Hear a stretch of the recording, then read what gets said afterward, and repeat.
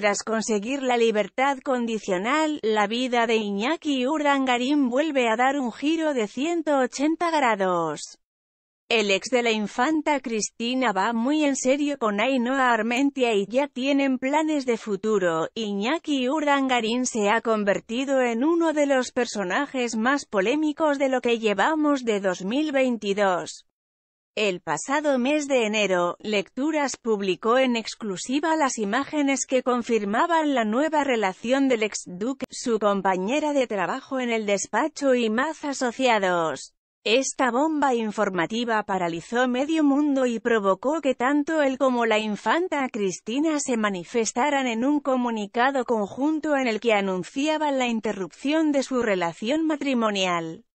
Desde entonces, Iñaki, Cristina y Ainhoa han estado en boca de todos y ya sabemos cuáles son los próximos pasos de futuro de la pareja después de que la hermana de Felipe XI haya confesado que no va a haber reconciliación ni perdón. Iñaki Urdangarín está experimentando un cambio radical de vida después de que se le haya notificado que ya ha conseguido la tan ansiada libertad incondicional tras el caso Nos.